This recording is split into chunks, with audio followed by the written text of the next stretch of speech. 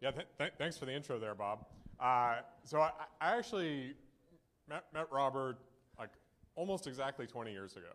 Um, I think it was in, in September of 1999.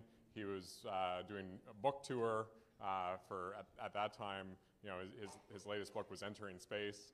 I had actually re- read uh, The Case for Mars like a month earlier, went, went to, um, you know, see his talk, and, and I was just like extremely inspired uh, by, by the overall uh, vision that, that he was laying out for expanding humanity into space and why that's important, uh, you know, really for humanity as a whole to en- energize us and, and help us move forward. So, you know, definitely a very memorable, uh, you know, experience there. And then, you know, as he was saying, you know, did a lot of things while, while I was in college related to the Mars Society, really do, doing anything I could to try to um, make that vision reality, having, you know, people uh, living on Mars. So, uh, want to definitely thank you for that, uh, Robert.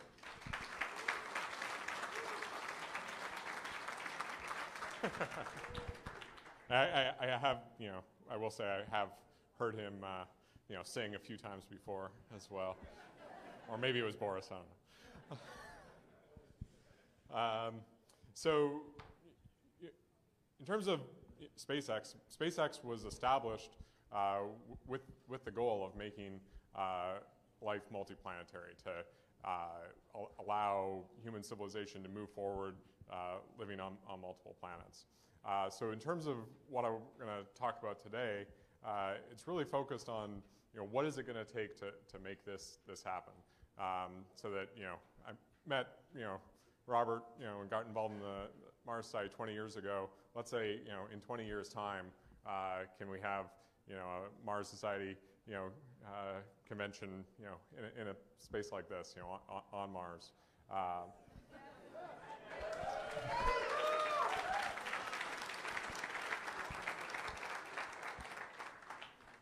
So in, in terms of in terms of what, what's going to be needed to, to make that happen, um, there, there's all sorts of things. I mean, if you look around, you know, here, you know, we're in, you know, basically downtown Los Angeles. Uh, you know, there, there's all sorts of different different things involved in, in having a city, uh, you know, be built and, and operated. And you know, when we talk about cities on Mars, we're going to need need all those same sorts of things as well. So um, you know, it's something where you know we at SpaceX are very focused on the, the getting there uh, part of the problem. Uh, but I, I, really also encourage you know all of us to think about the, the broader uh, set of capabilities that will be needed. You know, uh, you know from you know food, food and and and uh, you know uh, housing to um, you know power and you know other utilities and so on to to make this sort of thing happen. Um, now, on, on the SpaceX side, our, our focus is towards really reducing the cost of transporting cargo and people uh, to places uh, like Mars. We see that you know, in order to have, have that vision uh, be a reality, uh, it, it, has to be a very affordable, um, you know, there has to be a very affordable means of uh, transport. So our focus towards that is to have a fully reusable uh, transportation system. We've been making a lot of progress in regards to that with our Falcon 9 uh, vehicle on, on, the first stage, having the um, you know, first stage go up, uh, accelerate the second stage up to a high energy uh, condition, then having that first stage come back, land and be reused. Um, we've been doing that you know, qu- quite, a, quite a few times now. It's, it's becoming you know, almost you know, a regular occurrence at this point. thank you. And we're, we're you know, getting ready at this point uh, to, to you know, reuse one of, one of those uh, first stages for the, the, the, fourth time, and we're going to be just um, you know, increasing it from there. Uh, that said, to, to really you know, enable something like this, we, we think that we need to uh, decrease the cost e- even further. So, so for that, uh, we're developing our next generation uh, launch vehicle, which um, is basically the Starship. Uh, you can think of that, you know, similar to the space shuttle as being the entire vehicle. Uh, additionally, it's the, the, the second stage portion of the vehicle on top, and then our super heavy rocket that we have as the first stage to help accelerate uh, that vehicle uh, into space. So unlike Falcon 9, which is a, a partially reusable vehicle reusing the first stage, uh, with Starship and Super Heavy, we're going to go to a fully reusable system. So we'll be reusing not only that first stage, but also the second stage. Uh, we see that as, as yeah.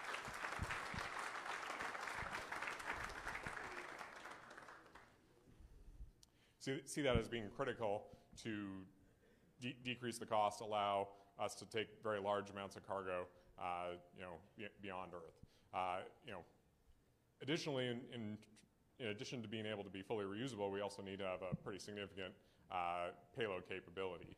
Um, you don't want to be, you know, building, uh, you know, a, a, city out of, you know, you know, small container uh, size things. You want to be able to move, you know, lar large cargo, uh, large numbers of people. So um, we're developing the vehicle to effectively have 150 ton uh, payload capability for launch into Earth orbit. And then by making use of propellant transfer, uh, we can then take that same uh, payload onto the surface of the moon and Mars. Uh, that, that allows us to you know, really have a very low cost for delivery here. Um, and combined with the, uh, know, the fact that it's fully reusable, we'd actually expect that the marginal cost for a launch um, is actually less than the cost of launching a Falcon 9. Um, so, you know, it's kind of this, you know, str strange thing that I think people, you know, haven't fully, fully grasped yet. But even though it has a very large payload capability, uh, we expect the, just the cost per launch to be, uh, you know, significantly lower than what's available now. Uh, as you increase your flight rate, it's important to have a propellant that's also you know, relatively inexpensive. Uh, so methane is the least expensive uh, fuel available uh, here on Earth. So we're using methane oxygen on both stages of the vehicle. Uh, that also helps out from the standpoint of having a, a common engine and common propellant uh, to really minimize the amount of development work you have to do and, and, even just things like the maintenance on your launch site and so on by having that, that common uh, propellant that, that can help you there. And then, of course, methane and oxygen are very useful uh, when it comes to Mars in terms of being able to make them uh, on the surface um, and also behave well overall in terms of your ability to store them uh, in space uh, while still having you know, quite good performance. I mentioned already the fact that we're using propellant transfer.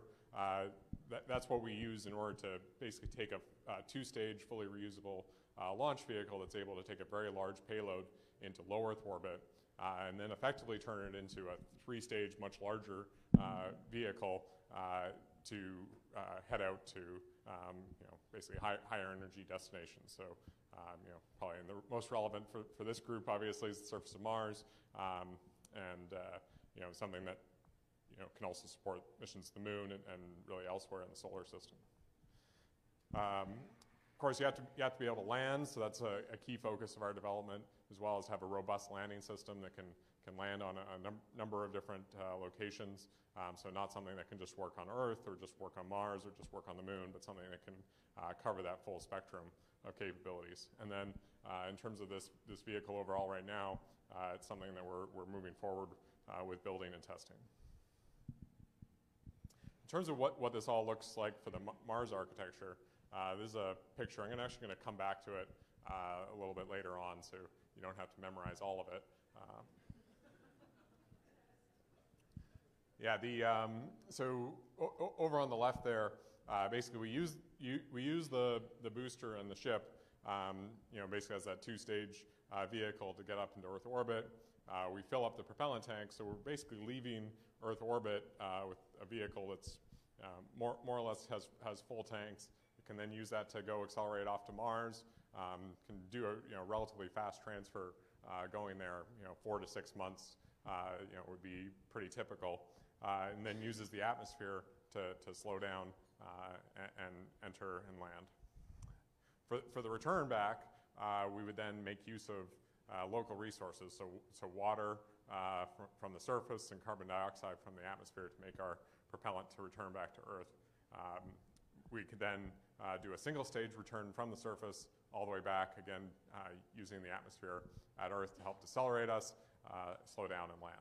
So that, that, that's the sort of overall uh, architecture. This has been you know, consistent uh, you know, for quite a while. We've been, I think, working you know, in some depth on, on this for uh, you know, a little over four, four years, and, and this aspect of it has been you know, quite stable.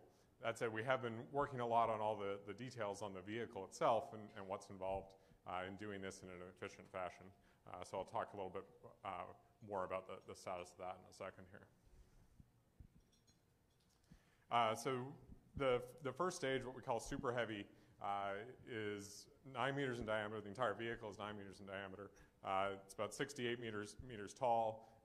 It's drawing on a lot of the lessons we've learned from Falcon 9 uh, reuse. So we have grid fins up at the top of the vehicle to help guide it back to the launch site. Uh, landing legs, we've actually simplified uh, that relative to Falcon 9 in terms of uh, minimizing the, the complexity of the mechanisms there and um, allowing us to, to much more rapidly uh, recycle the vehicle around. But, you know, you know, if we'd gone back, I think, you know, 10 years ago and said we had a, a, a first stage with, you know, 31 or 37 engines, uh, people would have thought, oh, that's impossible.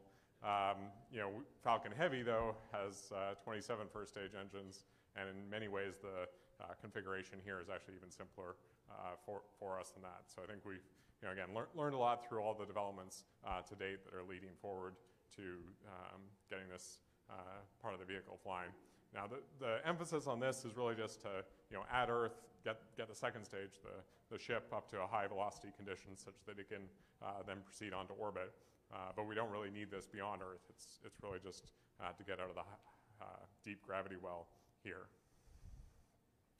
Uh, the, the part that's, you know, got a lot more, you know, new aspects to it um, from, from the standpoint of the, the, overall functionality relative to what we've done to date is, is the Starship. So this vehicle uh, is basically the second stage, but it combines the propulsion aspects of a second stage together with the payload elements of what would typically be in a fairing uh, for launch of satellites or you know, something like the, you know, the spacecraft for, for Dragon. Uh, and it's able to basically keep those uh, elements together and, and, go and serve as a, both a launch vehicle uh, stage and an in-space uh, vehicle. So that provides a lot of flexibility uh, for, for those various maneuvers. Um, additionally, in, in, order to be a fully reusable vehicle, uh, th this part of, part of the system is also uh, recoverable. So we're able to bring this back down uh, to the surface of the Earth, um, go, go, through entry, uh, do, do our landing, and get it recycled around to, to fly again. this is all powered by our, our Raptor engines. Uh, for the ship, we have a set of sea level engines that we use for that landing, uh, along with vacuum optimized engines uh, that we use uh, for the bulk of the uh, impulse uh, in space. And we can trade basically in terms of the effective specific impulse of, of, the system versus the thrust level just based upon where we are in our trajectories and what types of maneuvers we're, we're, looking to do. So, um, you know, a lot of good flexibility there that, that helps us have a very versatile system. This, this is a picture of three of those uh, Raptor engines on one of our uh, prototype vehicles. So these are basically what we call the landing engines. They're the three, one, three engines that we would use for landing. We also use them uh, during the ascent and, and to, for any high thrust uh, maneuvers. Uh, to have the vehicle come back in uh, through the atmosphere, we have to survive you know, a very high heating environment. So that does, does require a heat shield as well. The approach that we're taking there um, is to, uh, for, for one, ha have most of the vehicle actually able to withstand relatively high heat uh, to begin with. So uh, the primary structure of the vehicle is made out of stainless steel.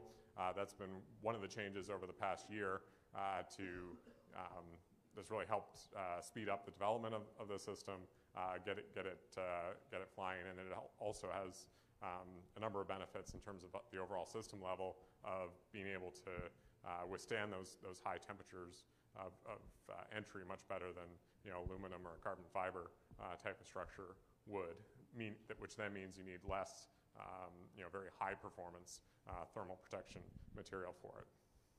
That said, in the high heating areas, you do, you do still need um, you know, something that can withstand that uh, extreme uh, heating and uh, be, be reusable. So for that, uh, we're basically um, take, taking the lessons from the space shuttle program in terms of some of the uh, things that they learned through the course of their uh, activities there to, to make a much uh, more robust uh, cer ceramic, um, you know, radiative and insulative thermal protection system. So, so we're, we're basically building um, right now uh, the capability to, to, manufacture large quantities of that material, uh, get it installed in a rapid fashion, and uh, really cover up the, the, aspects of that high heating uh, for, for this vehicle. I mentioned the, the Raptor engine, um, you know, already. this was um, this, this engine is a full flow uh, methane oxygen stage combustion engine.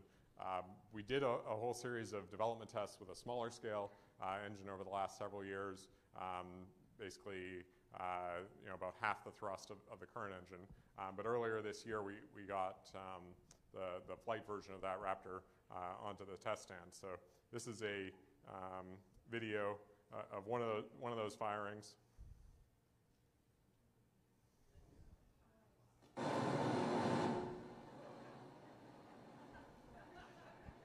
a little too loud, maybe. Um, so, you know, with the methane oxygen, you get this nice blue, uh, you know, clean, clean flame. Uh, you know, that's an aspect of the propellant combination that also helps out uh, for, for reusability, um, having, uh, you know, less soot uh, build up in, in your engine. Uh, the, the um, you know, we're, we're been uh, doing a whole, whole, series of tests on these across different throttle levels. We've you know, been up to you know 105% power, um, throttle them down for uh, landing tests, th things of that nature. We're also ramping up the overall production on these. We've I think had you know over 12 or so uh, into um, testing at this point, and working to uh, increase the production rate even, even further there. Uh, so in addition to the, the engine itself, one of the key elements is understanding how to build these large stages and, and, understand the interaction between the engine and the stage. Um, we're, again, trying to cut down the cost as much as possible, so we're actually using uh, autogenous pressurization uh, for the vehicle. So we're taking a portion of the oxygen uh, that goes, goes through the turbo pump, gasifying that, sending that back up into the oxygen tank to pressurize that tank. Similarly, uh, taking a, a, portion of the methane um, you know, up to high pressure and, and sending that back, back into the tank. And that allows us uh, to get rid of helium uh, as a pressurant on the vehicle. Helium uh, is actually quite expensive. Uh, it's uh, particularly in the quantities that you would want um, you know, for this type of vehicle. that's something where um, being able to instead just use the you know, quite low cost um, and high you know, density storage from the cryogenic propellants can, can help us out uh, there, and that also, um, again, helps when we're looking at Mars and things like that. There's not, not, not a very readily available uh, source of helium there, so being able to instead uh, use your own propellants for pressurization helps out. Um, that said, that's one, one of the things that we've been looking to do is understand the interaction there uh, between the engine and the propulsion stage, along with how, how the overall um, you know, tanks get built and, and, and work out there. So we've been doing a series of tests uh, with our Starhopper uh, vehicle. So here, here's um, the, the uh, basically the final, final flight of that uh, vehicle in August of this year.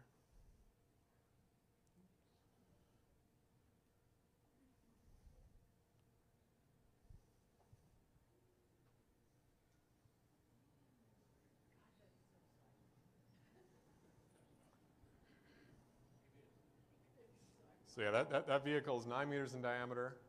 Uh, the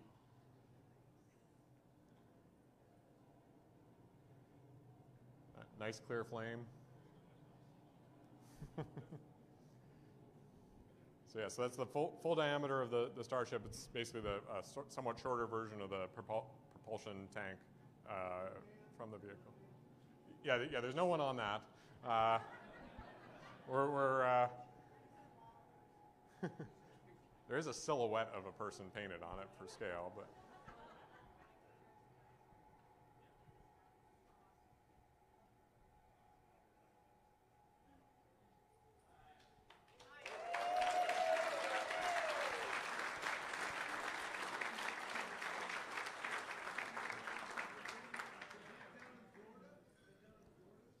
Uh, thanks. So, so, this was uh, at our uh, Texas um, our South Texas test facility, uh, what we call Boca Chica. It's basically as far south as you can go in Texas and still be in Texas. Um, you know, like at the very ed- edge of that, that view is basically the, the, um, the Mexican border. Uh, so, so this area is you know right, right by the, um, Gulf of Mexico. There, uh, we're um, have been building up this site. Uh, you know, really basically over the last year or so to, to uh, be able to do this testing along with manufacturing the vehicles themselves there. Uh, so we, we have the, this facility uh, down, down in Boca Chica uh, near Brownsville, Texas. Um, and then in parallel, we're also uh, building um, vehicles at the Cape. Uh, so over on the left is the, the next prototype vehicle, what we're calling Mark 1. In this case, it's the full the full, the full-scale vehicle, all, all the um, aerodynamic surfaces and everything else that we need uh, for that that we built in Boca Chica. And then the picture on the right uh, is a picture from uh, Florida. Uh, and uh, we have another vehicle, um, you know, maybe harder to see in, in the picture there, but um, you know, the main uh, tanks and such in the background, most of the nose cone in the front, and then the very tip of the nose cone over on the left all, all coming together in Florida, and then uh, also a lot of barrel sections there for the next uh, vehicle after that. Uh, really trying to speed up the pace of development on this and overall spur innovation by having two sites um, that are in a friendly competition to um, you know, drive forward, get, get the vehicles built and flying and into testing such that we can learn as much as we can, as quickly as we can, um, and to do that all in a you know, collegial fashion where we're sharing lessons learned across the sites. They're you know in constant communication, but uh, they get to set their own path in terms of what's going to be uh, fastest to get the vehicle built. And I think we've already seen a lot of uh, very good improvements there in terms of you know one place trying out something that's a little different from another, uh, seeing that that worked really well, and then the other site uh, picking up a, a, similar approach. So for this um, vehicle here, what we're going to be testing out with that is basically um, the overall uh, landing sequence uh, for this vehicle. We, the, the vehicle flies basically in a sort of side-on um, condition uh, through you know, subsonic uh, flight, uh, maximizing the, the drag area on it. Um, one sec.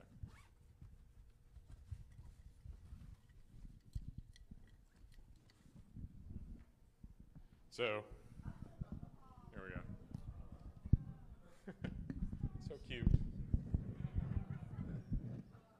Um, so basically, in in uh, hypersonic and supersonic, we're fl uh, flying about 60 degrees to the, the flow. Uh, that's letting us maximize uh, the drag to, to, slow us down as much as possible while also still having sufficient lift to uh, control the trajectory uh, as, it, as it enters in to, to basically manage the overall heat that the, the vehicle is seeing um, on that, that heat shield. As it comes, so it's more or less flying you know, horizontal through mo most of the entry. Uh, as it then comes to towards uh, subsonic and sort of terminal condition, it's almost falling uh, you know, vertically uh, side onto the flow. Um, that, that's letting us really use as much of this area as possible for, for drag, uh, keeping uh, the velocity that we need to you know, remove with the engines as, as low as possible. And then we're using a fairly non-conventional approach of, of, basically modulating the, uh, the forward uh, flaps and the, the, rear flaps, almost more like what a skydiver would, would do to control uh, their trajectory coming in to adjust for any wind disturbances and so on such that we can uh, target the, the landing site and arrive there. Um, so in terms of what, what that will uh, look like, uh, th this is an example of the, the subsonic flight there You can see the forward and aft flaps uh, actuating. They're, they're actuated al along a line uh, fa fairly close to parallel to the vehicle. Um, so uh, th again, th th these basically are not, not really wings or, or flaps in the traditional sense of something creating lift. They're more actually modulating drag uh, than that and then able to provide some uh, side force based on the normal force against the flap. Uh, so th th this um, you know, can gu guide the vehicle in. Uh, you can see it's going at a pretty, pretty low velocity uh, there. Um, and then uh, for the final portion of flight, we basically have to do a reorientation maneuver now to, to bring the, the engines uh, first and do the final propulsive landing. So this is what we're going to be testing out with that prototype vehicle that you saw the picture of there. So this is basically a, sim a simulation of what that's going to going to look like. This is our trajectory, you know, simulation code, and then uh, visualization layer on top.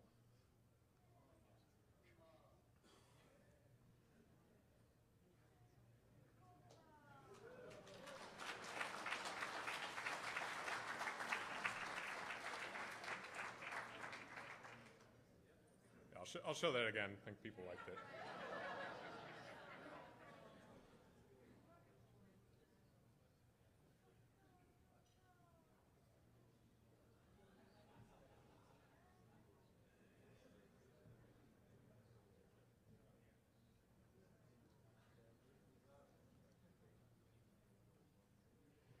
So, uh, not too distant, uh, you know, future, next, uh, you know, few weeks, we'll be getting this uh, vehicle here out to, out to the pad, getting it um, through its static fire tests, and then, uh, you know, ho hopefully, uh, you know, do, doing that, the, you know, ma making that animation reality. and I, I'm very excited about that. Really looking forward to it. You know, that said, we are taking an iterative approach where we're expecting you know, to learn a lot as we go. We're, we're moving fast, so um, you know, if that vehicle you know has some issue, the next vehicle is going to be you know right after that, and the next one right after that. Um, you know, our, our, approach is really to test a lot, fly a lot, uh, you know, learn quickly and adjust um, as we go forward. Uh,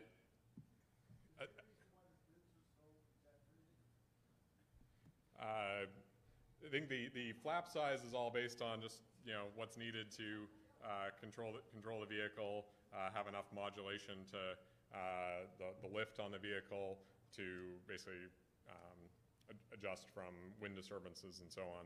It's really driven uh, primarily by the Earth case um, over, say, the Mars case. Uh, there's different trades there, but we're, we're, basically able to use those same uh, aero surfaces in both locations. Uh, so after we've uh, basically been testing out these suborbital vehicles, uh, next step after that's going to be orbit. So to give you a sense of scale for that, the, whoops, the, uh, that same hopper vehicle you saw earlier is over on the left. Um, there's the silhouette of the people, or person, and some real people. And this is what the launch pad looks like.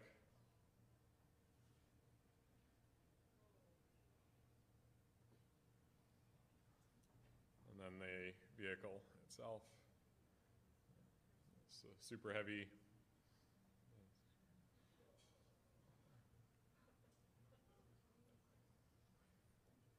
Then the Starship all the way to the top. Um, so again, that, that's a um, you know, depiction of what that would look like in, in Boca Chica, Texas. We're also uh, building out a launch capability in Florida as well. Um, this, this is now a depiction of how the overall you know, vehicle would, would operate.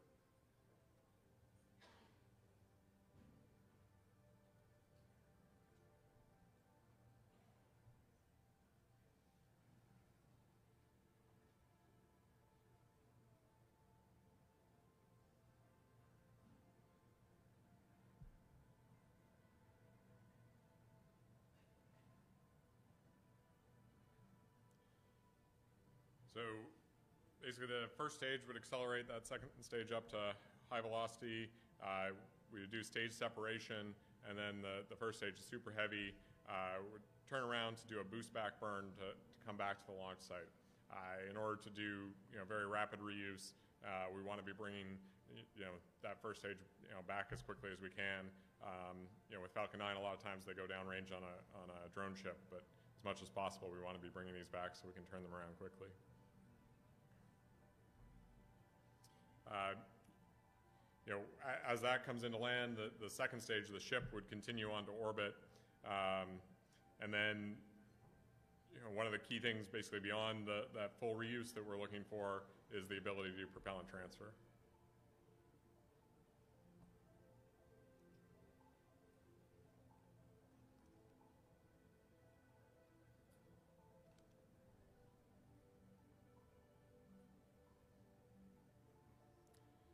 So having taken on that propellant, we're now ready to, to you know, really go, go on to pretty much any destination.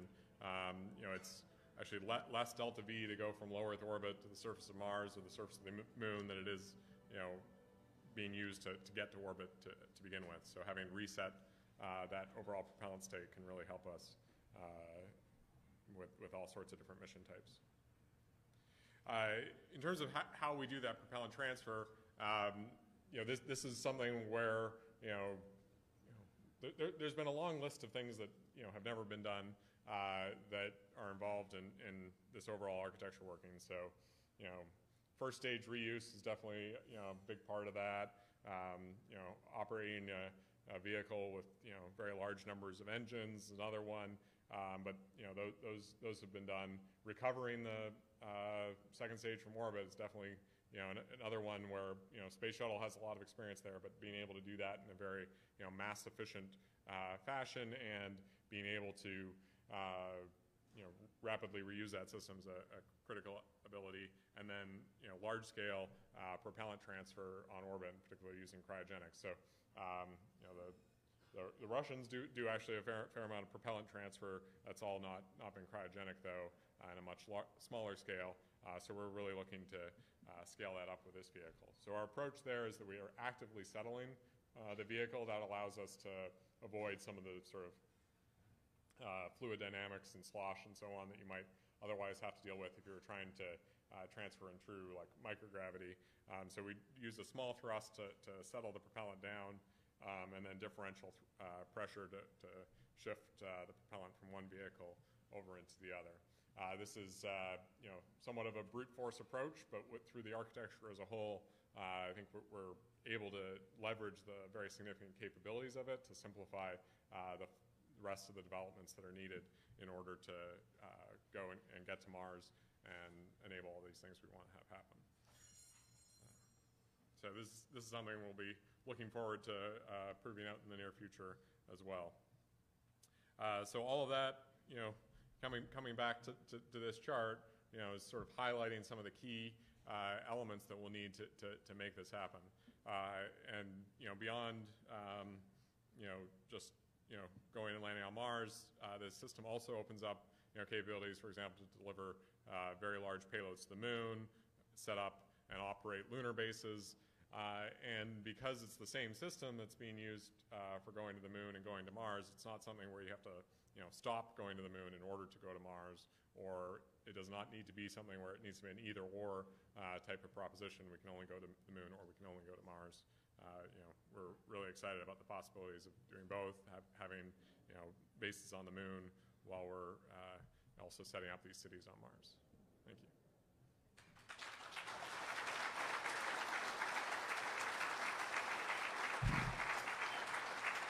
Thank you.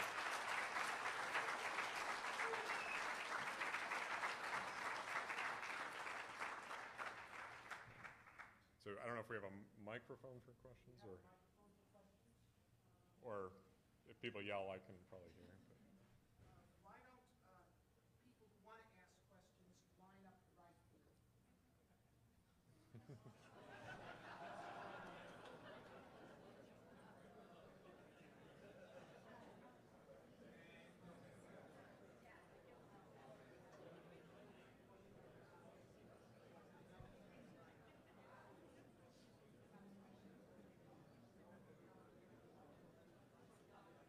Go ahead. Okay. So, uh, without, without, without revealing any trade secrets, can you tell us the sorts of differences between Mark 1 and Mark 2, uh, Boca Chica versus Florida? And also, how is it going to be coming in? Are there things that you can do to reduce those when you eventually go to Earth, Earth uh, at some time in the future? Yeah, so, so there were a couple of questions. One was about the difference between the builds at um, Boca Chica you know, versus the Cape and um, another one was about uh, entry uh, dynamics. The vehicles are quite similar uh, between the Cape and, um, and Boca. There's some differences in the thickness of the uh, material. You know, between the first two, we're, we're basically, you know, as we learn, we're able to thin some of that down, decrease the mass. Uh, there's other things on the manufacturing side. uh, but a lot of the capabilities are basically uh, the same there, and it's um, more just a, a matter of refining things. Um, as we get into the next uh, you know version after that, we're going to be making uh, more improvements to um, decrease the manufacturing time and and and cost, and just uh, you know help out with the overall operability of those vehicles. Uh, in terms of the entry uh, accelerations, they're actually you know pretty pretty benign. Um, for for entry from orbit at Earth, um, you know you're you're less than uh, three Gs or two to three Gs. Um, there are some things that could be done to to decrease that you know more in the future as well, but you know relative to um, you know some some like capsule type uh, reentries and so on, that that's um, you know relatively benign. Uh, and then uh, for for Mars, um, for the entry there, uh, we um, basically have a trade between how much acceleration you you can um, take versus what entry velocity you can come in at for an aero capture. Um, but we're able uh, to basically limit ourselves to 5 Gs, which is basically the, the limit for a deconditioned uh, crew um, that you know Na- NASA um, holds. So we, we can limit ourselves to 5 Gs and, and still um, you know meet those fast transit times that I was talking about. Sure. So uh, from uh, single stage Mars to Earth, uh, is it direct entry into the atmosphere or some other way? Of, uh, and then my second question is, uh, the first ISRU of uh, um, propellant on Mars, is it going to be robotic or will you just leave the starships there and wait for humans to do the, the? Okay, so the, uh, the questions in general were about uh, returning from Mars. Um, for the single stage from Mars back to Earth, uh, you uh, basically would be you know, propulsive uh, departing Mars, uh, do trans-Earth injection, um, and then you would use the atmosphere, uh, most likely first aero capture into Earth orbit, um, and then subsequently do, do your, um, your entry and landing. That said, there, there's a fair amount of operational flexibility uh, on the system there. Uh, in terms of what we would be doing um, you know, early on, I would expect that most of the vehicles uh, would actually stay on Mars. They're, they'll be, you know, quite valuable uh, there, uh, and, and vehicles returning would be more, you know, to the extent, you know, people want to come back, they, they would be coming back in a vehicle, but at least early on, most of the ships, I think, would be, you know, stay, stay there and, and be made use of uh, on the surface. So SpaceX is moving pretty fast. What if uh, there is not enough systems developed to put inside the Starship? Like, do you plan to set up something yourself, or I don't know, are there things you, you're working on? Uh, I mean, I think th- there's going to be all sorts of things that will be needed to have a city on Mars, and um, you know, at SpaceX, we're very focused on enabling that by having you know a, a robust and, and low-cost transportation uh, system that, that's going to be available, uh, and you know, we really want to encourage you know anyone who, who wants to you know be working on the things that will be on Mars to, to do so, um, and to think about you know what what things you know match up well with, with your expertise or, or things that you want to go you know learn how to uh, do and then and then um, you know build build the things that can fly there figure out you know uh, you know what, what all the different you know businesses will be on, on, on the surface of Mars you know, uh, you know we talked about like you know probably want to have more than one you know pizzeria or something like that um, so and, you know I, I think that from the, the SpaceX perspective we're you know quite interested in you know, enabling uh, that type of activity. You know, if if there are certain things that are, are missing and we, we need to, you know, help out there, I'm sure we'll we'll do that with time. But uh, as much as possible, we'd like to, you know, foster an ecosystem there. A comment and a question. You do realize that Heinlein got there 70 years ago with his book, The Man Who Sold the Moon. and the question is, those grid fins, are they actually sort of like waffle irons? Yeah, they, they um, so the grid fins uh, on the, the first stage for both Falcon and, and Super Heavy um, on launch, they're kind of against the side of the vehicle, but then they deploy out for um, entry. And so in that in that case, they are actually creating lift, but it's you can think of it as a whole series of, of small wings uh, inside there that are um, you know a, as you rotate it, each one of them can can create lift and, and thus generate a side force uh, for the vehicle. So the air, air passes through it. Can you comment on whether there are any special issues from firing over 30 engines simultaneously on the Super Heavy as far as turbulence and stability and so forth, and uh, how those have been addressed? So, in terms of you know firing large number of engines, there were I think a lot of questions. Um, you know, they, they came up. I think even back when you know SpaceX was talking about a Falcon 5, people were you know wor- worried about you know the dynamics of that, and then you know Falcon 9, you know, uh, how is that going to work? And Falcon Heavy with 27 engines. Um, the the step uh, to the number of engines on this is not something where I see it as having you know a significant um, issue there. It's more just incremental in terms of um, you know you know acoustic energy and so on, but not anything that's fundamentally uh, showstopper. Hi, Paul. I'm from City, China, and uh, my question uh, is like uh, Donald Trump said uh, we'll send American pe- uh, people to Mars by 2033, right? So I want to know what is the plan? Is till 2024 or or, or other time? Uh, for your uh, your plan, for Elon's plan, and uh, uh second is uh, Elon said we'll send like one million people to Mars, right? So how we can block the seats now? Didn't, uh, didn't quite ha- hear the last bit of the, the last question. Last question is how to block the seats for Starship to Mars. Oh, book. Oh, okay. Book. Yes, sorry. The, uh, the reservations.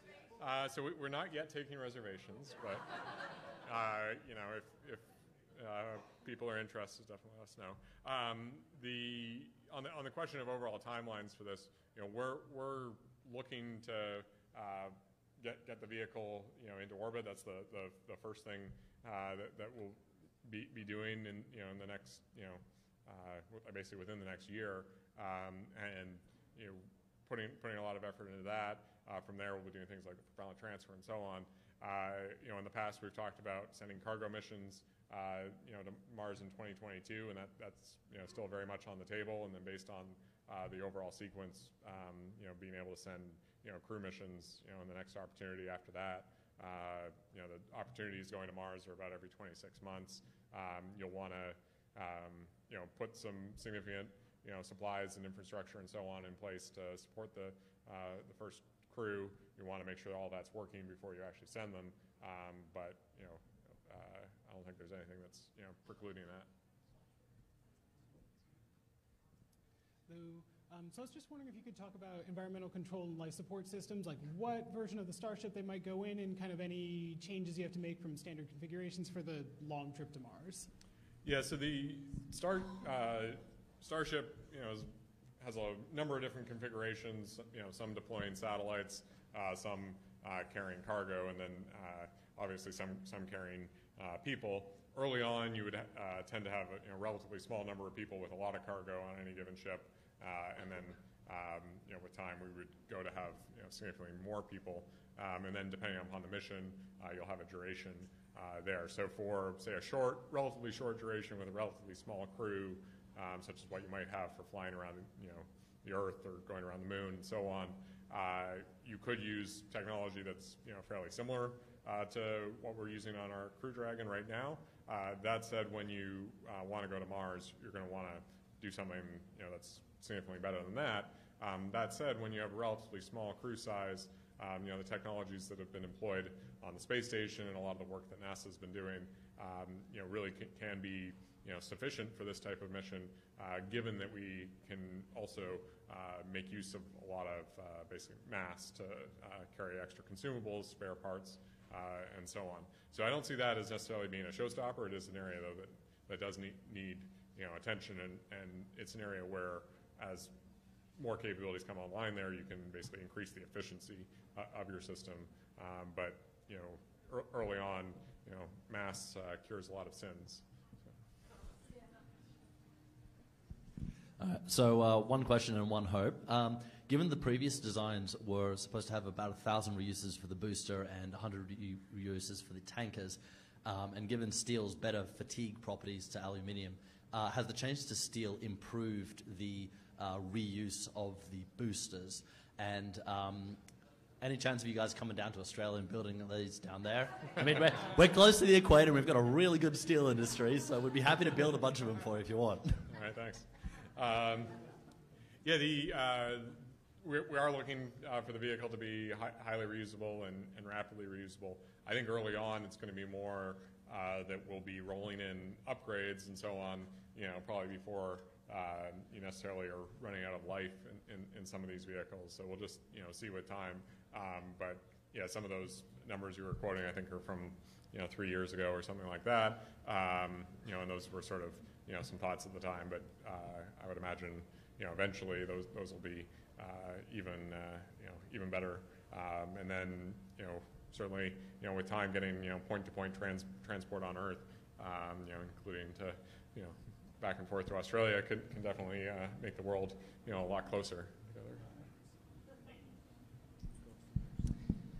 Hi, Paul. Um, a couple questions. Uh, so I noticed that the dry mass of the Starship has gone up a little bit from 85 to 105 tons, but also the payload capacity now seems to really be firm at 150. So that's great news. I'd love to hear sort of what maybe is behind that. And then my just second follow-up question is, are you guys planning to publish a revised economic estimate anytime soon? Because the only thing out there, I think, is from Elon's 2016 talk.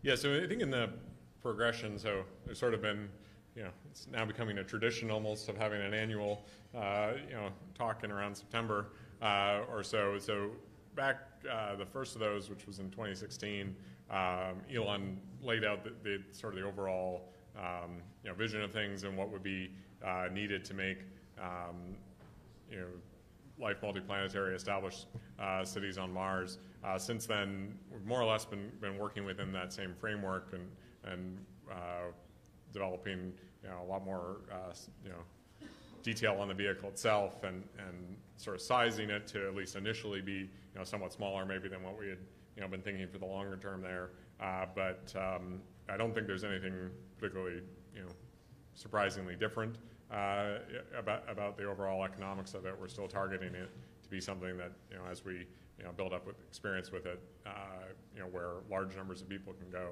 uh, really want to enable that. We'll take a couple more questions. Uh, hello, I am a student from Poland, and I have a question about the uh, trajectory because uh, we saw the uh, simulation, and Uh, I'm really curious about uh, the um, uh, how much deceleration you get from aerodynamics from the atmosphere, and how much you get from the rocket fuel, and at what height on Mars you change your um, position because on the simulation it wasn't so clear.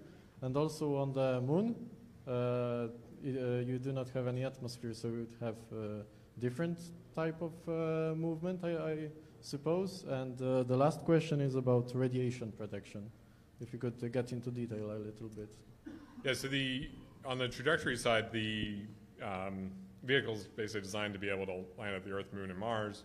Uh, depending on which of those specific cases, the you know, ratio of energy dissipated aerodynamically versus, um, you know, propulsively is obviously quite different. In the case of the moon, it's entirely propulsive.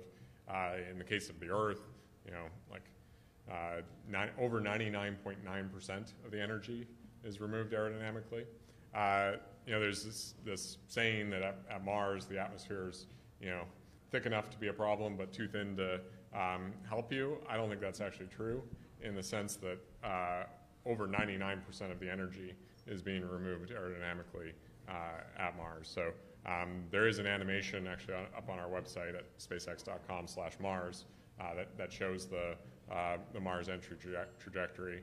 Um, it's shown with an older OML, but the trajectory is basically the same. Uh, and so in that case, we're um, you know, say com- coming in at uh, you know 7.5 kilometers per second, slowing down to 750 meters per second or less, um, to, and uh, using that to you know, really bleed off a lot of that, that energy.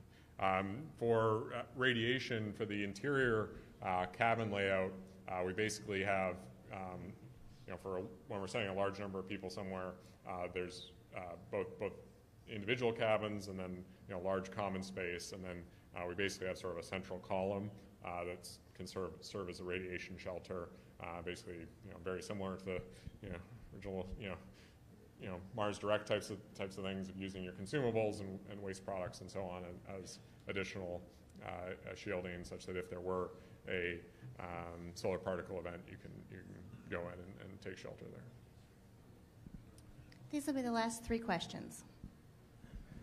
Hi, Paul. So you said that uh, the tanks are going to be autogenously pressurized instead of helium pressurized. Uh, how do you start the engines and the turbopump, especially when you're at low tank pressure? Yeah, so the uh,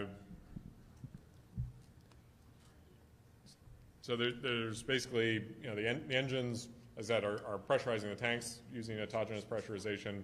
Uh, we're also able to basically spin the engines up, um, you know, with high pressure gas, and then uh, can recharge the high pressure gas as we go. Hi, Paul. Can you tell us a little bit about the uh, reuse of the heat shield and how often that might need to be refurbished?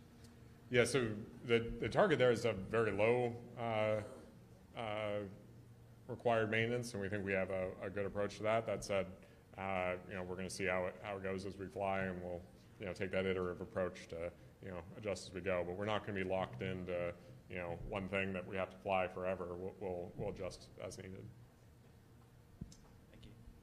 Uh, hello, I'm interested in the sort of abort to launch, uh, so abort to uh, orbit options.